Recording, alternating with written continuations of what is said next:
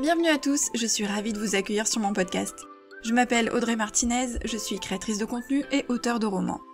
Rêve d'auteur est un podcast qui est publié chaque semaine, dans lequel je livre mon expérience et mes réflexions, sans tabou et sans langue de bois. Mon but étant d'aider les auteurs à réaliser leur rêve d'écriture, aller au bout de leur projet et à vivre du métier d'écrivain. Vous pourrez retrouver de nombreux conseils d'écriture, d'auto-édition ou encore de promotion sur ma chaîne YouTube, sur le site rêvedauteur.fr ou encore sur mes réseaux sociaux et notamment Instagram.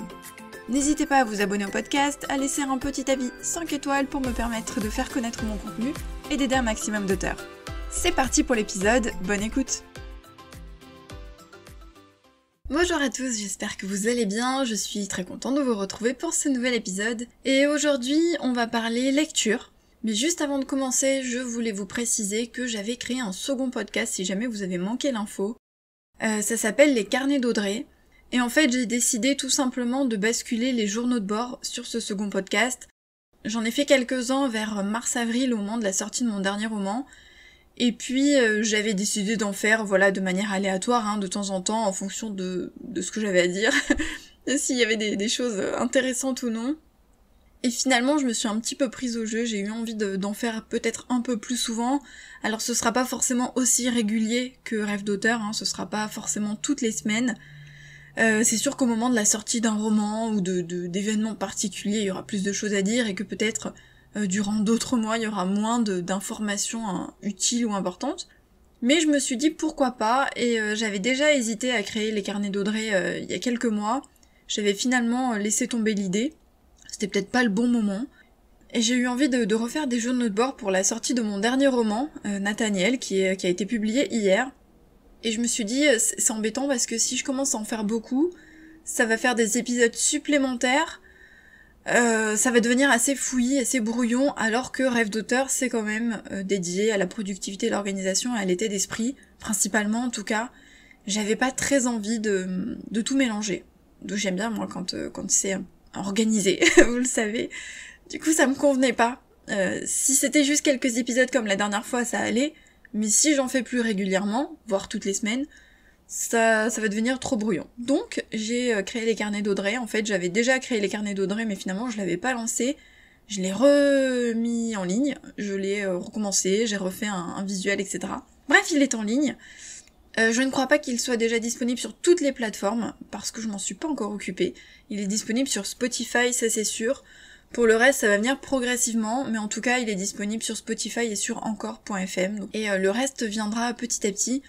J'ai remis les anciens euh, journaux de bord, donc ceux qui sont déjà disponibles sur ce podcast, et j'en ai enregistré de nouveaux qui vont être publiés progressivement. pour le moment, ils sont publiés le samedi. Donc voilà, les journaux de bord seront publiés le samedi pour pouvoir m'organiser plus correctement parce que sinon ça va être compliqué si tout sort le même jour. Donc voilà, les journaux de bord sont publiés le samedi sur le podcast qui s'appelle Les carnets d'Audrey. Le petit instant euh, actualité information est terminé, donc on va passer euh, au sujet du jour, et le sujet du jour c'est la lecture. J'ai hésité à le faire euh, sous, sous forme de, podcast, mais je me suis dit que c'était quand même un peu plus sympa qu'un article ou quelque chose comme ça. Notamment parce que j'ai souvent des remarques ou des questions concernant la lecture, parce que je lis beaucoup et je lis rapidement. Il y a des mois où je peux lire jusqu'à presque 100 bouquins. Euh, il y a d'autres mois évidemment où je lis moins. En général, ça, le minimum, on va dire que c'est une trentaine de bouquins. Ça va, voilà, entre 30 et, quasiment 100. Et je navigue entre ces eaux-là. Ça dépend vraiment des mois parce que bah, ça dépend de ce que je fais. Si je suis par exemple en ce moment en phase de relecture correction à fond, je vais lire beaucoup moins. Euh, par exemple, là, ça fait plusieurs jours que je n'ai pas lu, en tout cas pas lu de livres de fiction. Je continue de lire soit du développement personnel, soit des livres pro, mais euh, de la fiction, là, en ce moment, j'en lis pas parce que je suis tellement à fond sur... Euh, au moment où j'enregistre l'épisode, évidemment, hein, quand, quand vous l'écouterez, ce sera plus le cas, mais je suis à fond dans la relecture correction de mon dernier roman, donc forcément, j'ai moins de temps pour lire et moins envie aussi. Honnêtement, j'ai moins envie parce que c'est déjà tellement intense de finaliser son bouquin que j'ai moins envie de lire, donc je me force pas. Puis il faut dire qu'il y a moins de bouquins qui me tentent aussi. Euh, ces deux derniers mois, j'ai fait beaucoup de relectures, c'est-à-dire des bouquins que j'ai déjà lus euh, l'année dernière ou en début d'année, que j'avais aimé, donc des valeurs sûres, que j'ai relus. Et il y a moins de nouveautés qui me tentent, ou moins de livres que, que je connais pas qui me tentent, du coup, voilà, j'ai fait des relectures, et là je suis dans une phase où bah, je trouve rien qui m'intéresse. Tout simplement. J'accroche pas, donc je me force pas. Donc voilà, ce mois-ci je vais moins lire. Euh, je là au moment où j'enregistre, je suis à peut-être 30 35 bouquins donc euh, voilà, c'est déjà pas mal hein. Le début de mois, j'ai beaucoup lu et puis euh, milieu du mois, j'ai euh, j'ai moins eu envie de lire. Bref, malgré tout, j'ai des petites techniques, alors des petites techniques. J'ai essayé d'analyser pourquoi je lis beaucoup et pourquoi je lis plus vite. Parce que je le fais pas exprès. Je me suis pas dit tiens, je vais mettre ça en place pour lire plus. Pas du tout, vous le savez, c'est pas mon genre je lis juste plus et plus vite parce que bah il y a des choses qui se sont mises en place naturellement. Et euh, en essayant de les analyser pour euh, pour comprendre bah voilà j'ai trouvé de, des petits trucs. Ça veut pas dire que si vous les mettez en place vous allez vous allez lire plus vous allez avoir plus de temps pour lire vous allez lire plus vite hein. c'est vraiment propre à, à, ma vie à moi et à mon quotidien. La première chose c'est que euh, je travaille à la maison. C'est bête à dire mais ça a changé beaucoup de choses parce que forcément bah déjà, je perds pas de temps, par exemple, dans les trajets, je perds pas de temps euh, euh, sur mon lieu de travail. Je sais que quand j'allais à l'école, j'arrivais à l'école vers 7h30, 8h moins euh, la classe commençait euh, vers, enfin, entre 8h20 et 8h30, le temps de récupérer les élèves. Mais voilà, j'arrivais beaucoup plus tôt, et le soir, je partais tard, donc les élèves, eux, quittaient la classe à 4h30. Mais moi, je restais à l'école, parfois jusqu'à 6h ou 6h30, ça, ça dépendait vraiment des jours. Bon, vers la fin, j'essayais de partir plus tôt, mais voilà, quoi qu'il en soit, je passais forcément de, grosses journées à l'école et à l'école je ne lisais pas. Donc c'est sûr que de travailler à la maison, j'ai pas toutes ces pertes de temps, ces moments où, euh, vous savez, de transition entre la fin du travail et le moment où vous arrivez chez vous, vous êtes euh, en mode détente. Déjà ça c'est un gros gain de temps. Voilà, je pense que ça joue beaucoup. Je me suis mise à lire beaucoup plus à partir du moment où je suis devenue auteur à temps plein, j'ai commencé à bosser à la maison, donc l'année dernière. Avant ça, je lisais juste le soir, c'est-à-dire que je lisais tous les soirs dans mon lit avant de m'endormir. Donc je lisais un, deux, trois chapitres, ça dépendait des bouquins, mais je lisais pas le reste du temps. Euh, j'étais pas de ceux qui lisaient euh, dès qu'ils avaient un petit temps de pause. J'étais pas une très très grosse lectrice finalement. Je lisais environ un, bouquin par semaine. Ce qui était déjà bien, mais c'est pas énorme. C'est sûr que si je compare à maintenant, c'était vraiment minime par rapport à, ce que je lis maintenant, hein, forcément mais parce que j'avais pas le temps, parce que j'étais fatiguée, parce que quand je rentrais chez moi, je m'occupais de euh, rêves d'auteur, je m'occupais de, mes livres, de ma promotion d'auteur, etc.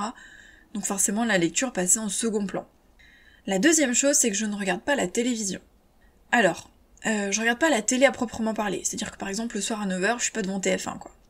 Je regarde des replays de temps en temps, d'émissions que j'aime bien. Genre, euh, voilà, si vous me suivez sur les stories, Colanta, The Voice. donc je regarde des replays, très peu, Vraiment très très peu. Mais ça m'arrive pour des émissions que vraiment j'apprécie. Par contre, ne me demandez pas ce qui passe en ce moment à la télé, etc. Je ne suis au courant de rien parce que ça fait euh, des années que j'ai pas regardé à la télé.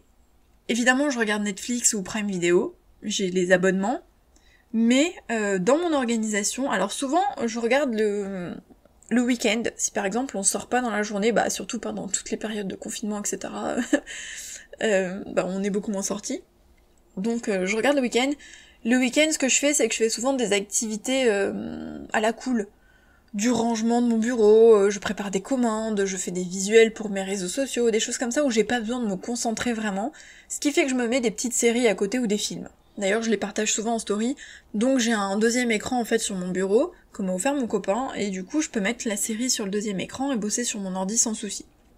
Et de temps en temps, comme en ce moment, en ce moment où je lis euh, pas, ou peu, je regarde des séries le soir ou je regarde des films le soir.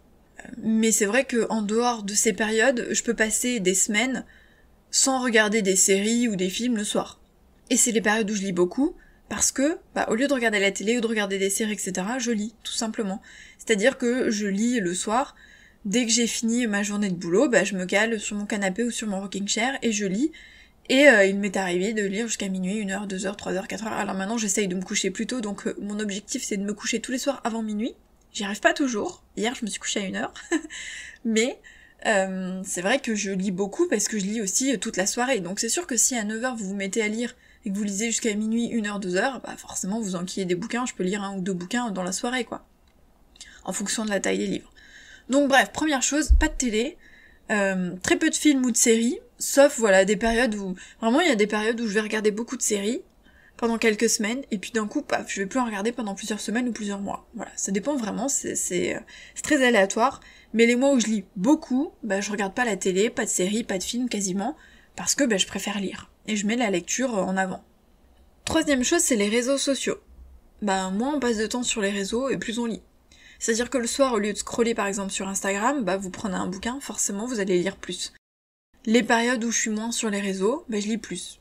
Alors, je fais attention parce que euh, c'est vrai qu'avec moi c'est tout ou rien. Soit je suis beaucoup sur les réseaux bah, pour euh, pour euh, tenir ma promotion, hein, parce qu'il faut être présent sur les réseaux pour tenir en tant qu'auteur indépendant soit j'y suis quasiment pas et je laisse tout tomber parce que ça me saoule et que je suis dans une période où j'ai pas envie. Voilà, j'alterne. Pendant l'été, j'ai eu moins envie. Alors il y avait quand même quelques publications, mais c'était très aléatoire et beaucoup moins que maintenant. Des stories, j'arrive à en partager, mais c'est vrai que voilà, quand on se connecte moins, parce qu'à partir du moment où on se connecte, on va avoir tendance à lire les publications, à commenter, à regarder ses messages, à publier des stories, à regarder les stories des autres, et c'est très facile de se perdre dans les stories et les faire défiler. Et forcément, bah, c'est du temps qu'on perd pour faire autre chose. Donc si on est moins sur les réseaux, on lit plus. Quatrième chose, c'est que je lis partout, entre guillemets, et tout le temps.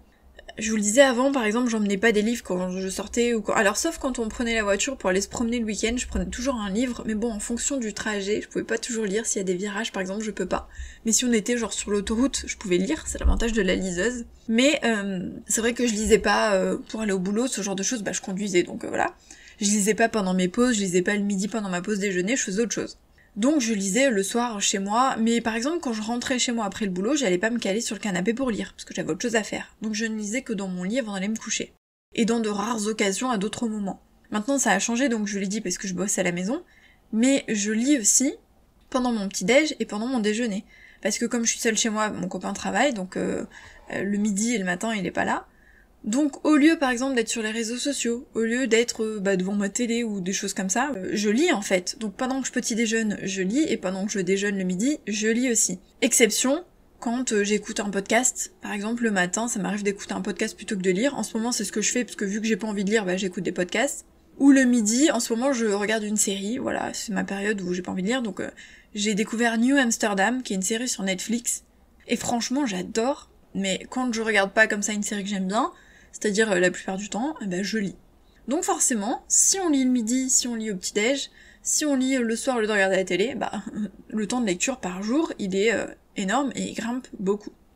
Et dans mes phases où je suis vraiment en frénésie de lecture, parce que ça m'arrive quand je suis à 100 bouquins par mois, je suis en frénésie de lecture, j'empiète sur mon temps de travail. Qu'on soit clair, je travaille moins dans ma journée et je lis plus. Voilà, il y a des périodes comme ça, mais je l'accepte parce que je peux pas euh, aller contre si je suis dans une frénésie de lecture, j'ai besoin d'avoir ma liseuse à côté de moi et je ne peux pas ne pas lire. C'est euh, comme une addiction, vous savez, vous pouvez pas vous en empêcher, c'est-à-dire que euh, pour pas lire, je suis obligée de laisser ma liseuse en dehors de mon bureau. Si je l'ai sur mon bureau, je vais être tentée de lire. Là en ce moment ça va, j'ai pas envie de lire, donc euh, je, bosse, je bosse bien, j'avance sur mes projets, et, c'est nickel, et j'ai pas ce manque. Mais c'est vrai que quand je, quand je suis dans des périodes de frénésie vraiment de lecture où j'ai que envie de lire et de rien faire d'autre, forcément, euh, mon temps de lecture empiète sur mon temps de travail. Donc par jour, je peux lire pendant plusieurs heures sans souci.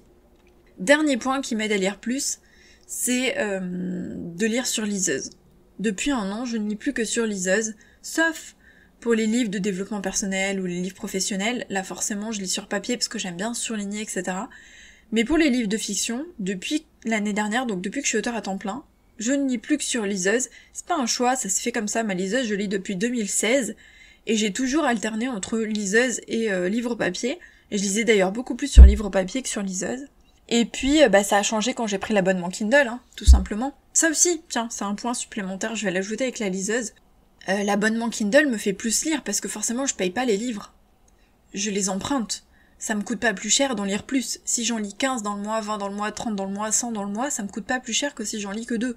Donc forcément ça joue aussi énormément j'ai découvert plein de livres que je n'aurais jamais achetés et que je n'aurais jamais lus, dans des genres que j'ai euh, testés et que je n'aurais pas pensé aimer ou apprécier. Et j'ai fait plein de super découvertes et de belles lectures, j'ai découvert des coups de cœur, des pépites que je n'aurais jamais lus euh, sans l'abonnement Kindle. Donc l'abonnement Kindle joue beaucoup parce que on clique plus facilement, on découvre plus facilement un bouquin parce qu'on ne paye pas. Concrètement, c'est vrai, hein. C'est pas question d'être radin ou quoi, c'est que les livres coûtent cher, il faut le dire, Et quand on en lit, comme moi, 50, 60, 100 par mois, vous imaginez bien que même pour un livre numérique, en général, ils sont en minimum à 5 euros, parfois 10 euros. Ça m'est arrivé d'en acheter un, ça m'arrive d'en acheter évidemment, en fonction des auteurs. Il y a des auteurs que j'aime beaucoup et qui sont pas dans l'abonnement Kindle, donc je paye les bouquins. Mais c'est sûr que quand vous payez 5, 6, 7, 8, 10 euros pour un bouquin, bah, par mois, ça grimpe vite quand vous lisez beaucoup. Donc l'abonnement Kindle a changé. Et la liseuse. Alors la liseuse qui a joué, au-delà de l'abonnement Kindle, c'est que je lis beaucoup plus vite sur liseuse, et j'ai remarqué ça, que sur papier. Déjà, au-delà de la praticité, euh, l'ergonomie, le fait de pouvoir lire quand c'est peu éclairé, lire partout, d'avoir besoin que d'une seule main pour lire, de pouvoir embarquer sa liseuse partout, enfin, il y a plein d'avantages à avoir une liseuse. Mais euh, je lis plus vite sur liseuse. Me demandez pas pourquoi, je ne sais pas pourquoi, je lis plus vite sur l'écran de la liseuse que quand je lis en format papier. Je sais pas s'il y a des explications à ça, mais c'est le cas, je l'ai remarqué. Et, euh, et donc je lis plus vite sur liseuse. Donc voilà ce qui fait que je lis plus vite, il y a rien de folichon, il y a rien de transcendant. Et vraiment, j'ai essayé d'analyser pour comprendre pourquoi je lisais beaucoup, et beaucoup plus qu'avant, et beaucoup plus vite qu'avant. Donc je résume, euh, je travaille à la maison, donc je perds moins de temps dans les transports, les déplacements, ce genre de choses. Je ne regarde pas la télé, je regarde très rarement des séries ou des films, et c'est vraiment par période, donc à la place je lis. Je passe moins de temps sur les réseaux sociaux. Je lis pendant mes repas, ce qui est pas bien, hein. normalement il faut manger en pleine conscience, mais moi je peux pas manger sans rien faire d'autre. Donc euh, autant lire. Je lis sur liseuse, donc je lis beaucoup plus vite, et c'est plus pratique parce qu'on peut vraiment l'emporter partout et lire dans plein de moments différents, sans être entravé, sans être embêté. Et j'ai l'abonnement Kindle, donc l'abonnement Kindle qui me permet de lire euh, beaucoup plus et de découvrir beaucoup plus de choses que si je ne l'avais pas. Voilà pour euh, mes petits, c'est même pas des conseils ni des astuces, hein, c'est vraiment mon expérience qui fait que je lis plus. C'est pas vraiment en rapport avec le métier d'auteur, en l'occurrence, même si si je devais aller plus loin. D'ailleurs, j'en avais parlé dans un épisode qui s'appelle Lire comme un auteur, même si ça joue beaucoup sur ma façon d'écrire, parce que, bah forcément, quand on lit beaucoup, alors, je m'intéresse pas forcément aux structures, parce que quand je lis, je lis par plaisir, donc j'analyse pas les bouquins. En revanche, j'ai découvert plein de mots, j'ai découvert des termes, j'ai découvert des pas mal d'incises, de verbes pour les incises. Vous savez, des verbes d'émotion, des verbes pour remplacer le verbe dire, ce genre de choses.